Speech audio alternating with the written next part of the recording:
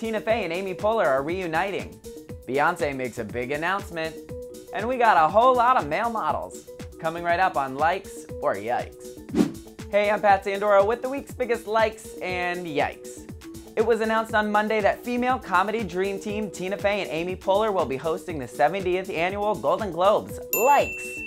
The former Weekend Update duo will take over for three-time host Ricky Gervais when they take the stage on January 13th on NBC. Both of these ladies are known for bringing the funny to award shows, so I'm just gonna go ahead and say let's give them all of the awards. Just give them all to Tina and Amy. They deserve it.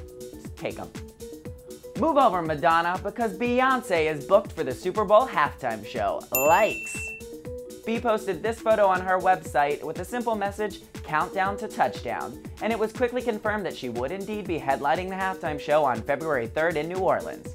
Rumors are already swirling about who might join Beyonce on stage, like hubby Jay-Z or the former members of Destiny's Child.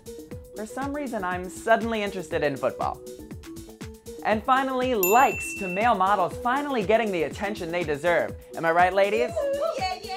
This week, The Price is Right debuted its first ever male model in the show's 40-year history.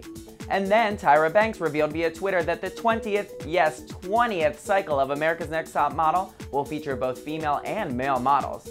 It's great news for male models and for me because maybe someone will finally pick up the show that I've been pitching forever, Male Modelers and Tiaras. Yeah, it's just as awkward as it sounds. Alright, that's it for this week. If you want to get more celebrity news, photos, or leave your comments on this week's stories, head over to ivillage.com slash likes or yikes. I'm Pat Sandora. See you next week.